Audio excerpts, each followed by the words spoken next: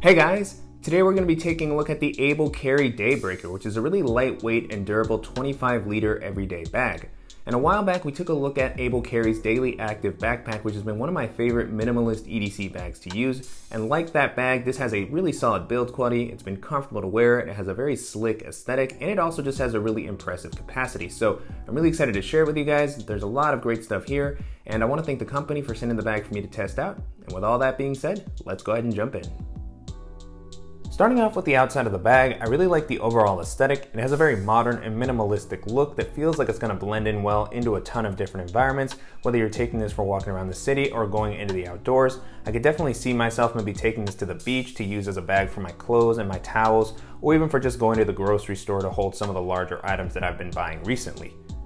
And then as far as the materials, the bag is made out of a lightweight 210D Cordura ripstop nylon, and the bag really does feel very light when it's empty. It comes in at a little bit over a pound, so it just feels like almost nothing is there. And then the material itself, even though it's lightweight and pretty thin, it still feels durable and like it's gonna offer a nice amount of weather resistance. And then the bag also has really nice aqua-guarded YKK zippers all throughout, so it definitely feels like it's gonna hold up well to some rougher usage.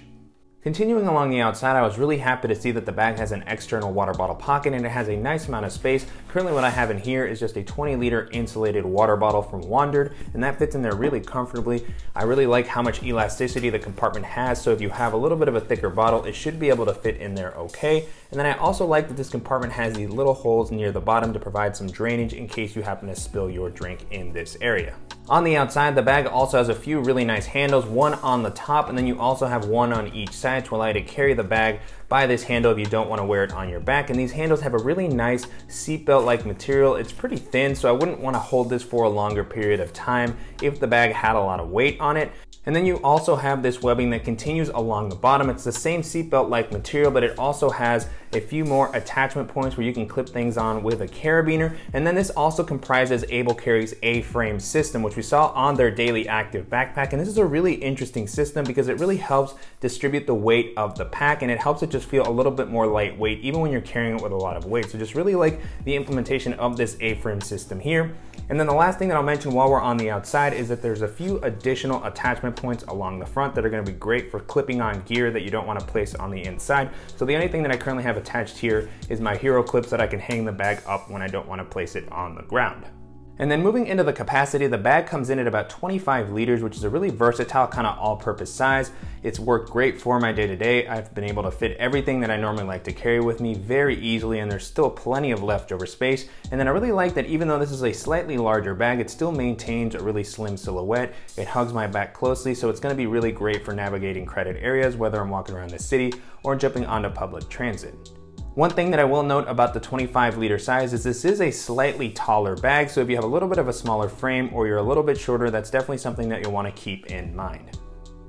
And then jumping into the straps and the back paneling, overall the bag has been pretty comfortable to wear. I like how the straps have been implemented here. They have a nice amount of padding. On the inside they have this meshy material to help prevent moisture from building up. And then they also have a really nice width to help prevent the bag from digging into your shoulders when you're wearing it with a lot of weight. One thing that I will mention here is that these straps are a lot thinner than the ones that were on Able Carry's Daily Active backpack. Those were just a little bit more cushioned, so I would have liked to have seen that here. But considering how lightweight the bag is, I haven't really noticed any issues with it so far.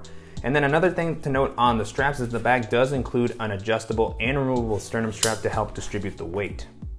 And then moving into the back paneling, this has also been pretty comfortable. On the inside of the bag, it has a removable kind of foam insert that helps give some structure to the bag and it also provides a little bit of padding.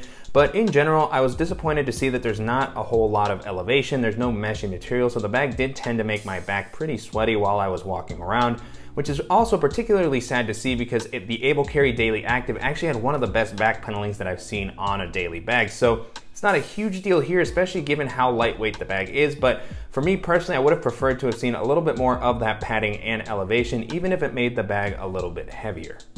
And then continuing on with the organizational options, the bag keeps things really simple. On the outside, there's really only one quick access area, and that's this side pocket here. And I really like the placement and orientation of this pocket. It makes it really easy to kind of swing the bag around and reach into this while you're actually wearing this. This also has a very well protected zipper. And so opening this up, no sort of internal organization in this compartment, just a nice amount of space, even for some bulkier items. So currently what I have in here is my Ray-Ban sunglasses with their case. And then I also threw in my Apple AirPods Pro. And then the last thing on the inside is that it has this little lanyard with a plastic clip that's gonna be great for attaching your keychains or maybe a multi-tool, which is what I currently have here.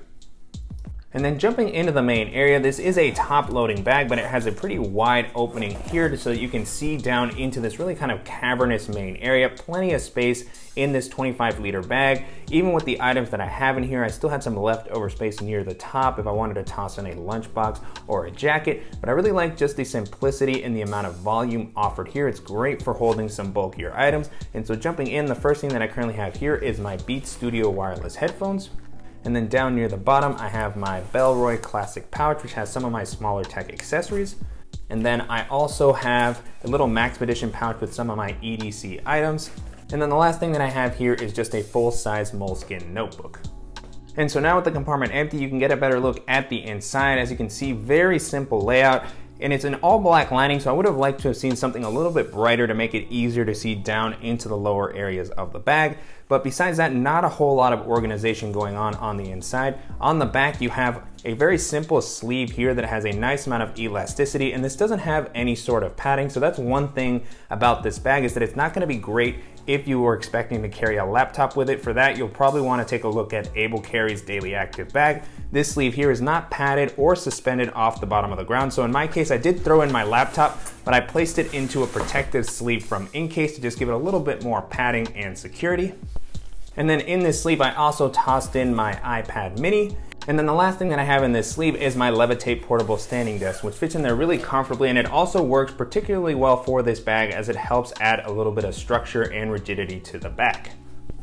And then at the top, you also have this little loop here, which you can use to clip on additional accessories. This can also pair well with a water bladder, which you can store in this sleeve here and then kind of thread the nozzle through this little loop. One thing that I will mention if you wanted to use this with a water bladder is there is no sort of pass-through, so you'll have to leave the top of the compartment a little bit unzipped for that to get through.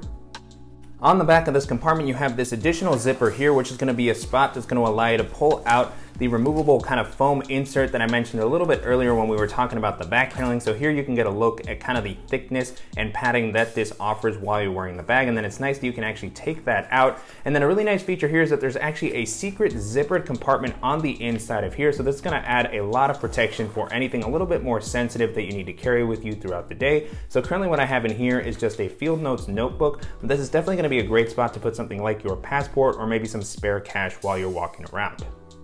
And then the last bit of organization in this main area is actually on the flap. There's an additional zippered compartment here that has a nice amount of volume. This is gonna be a great spot for holding some of those smaller accessories that you don't want floating around the main area. And so I was able to fit a ton of stuff in here. And even with the items that I have in here, there's still some leftover space. So just a really impressive amount of volume. Currently what I have in here is my BluePop portable Bluetooth speaker and power bank.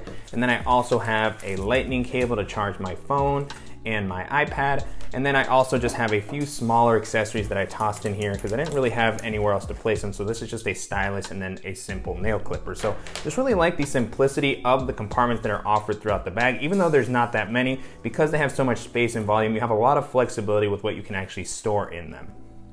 And then as I use this bag, one thing that I notice is that because it's not very rigid, it actually packs down really flat. And then given the fact that it's so lightweight, this is actually a really great bag to pack into a larger travel bag for when you're on a trip and you need something reliable and spacious for your day to day, then this is gonna be a phenomenal option and it actually compares very well to a lot of the other great packable bags that we featured on the channel.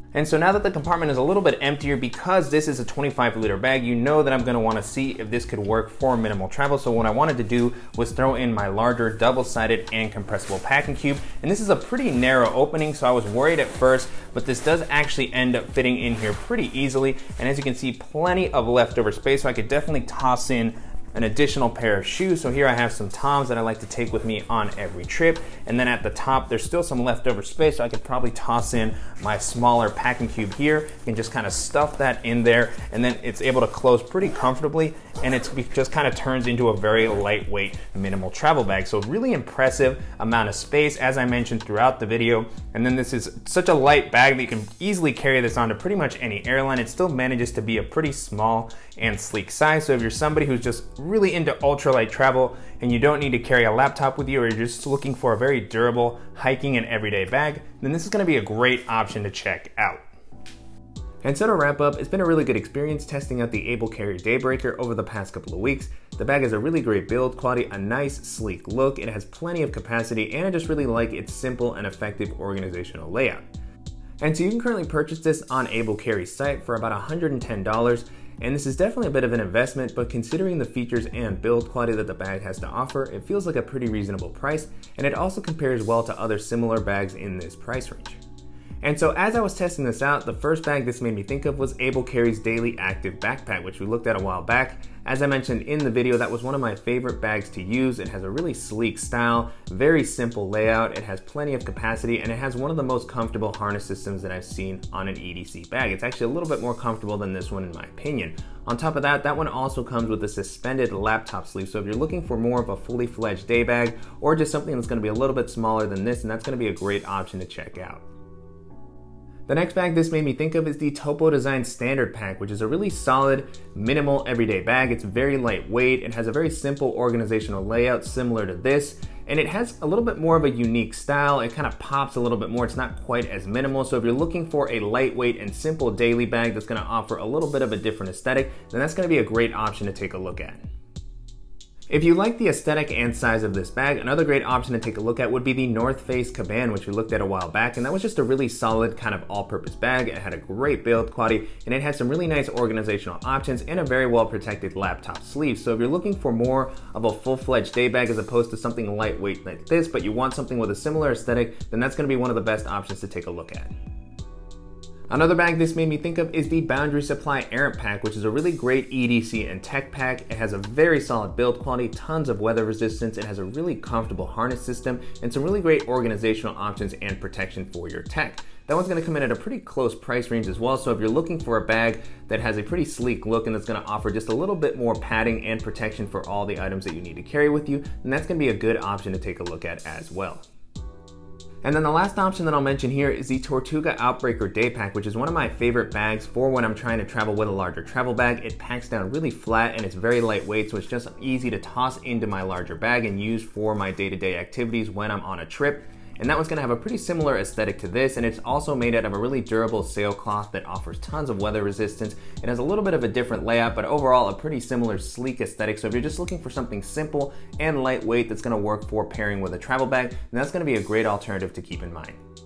With that being said, the Able Carry Daybreaker holds up pretty well against all those bags, and if you're looking for a lightweight, comfortable, and durable bag that's gonna work well for all sorts of daily activities, then this is gonna be a good option to check out.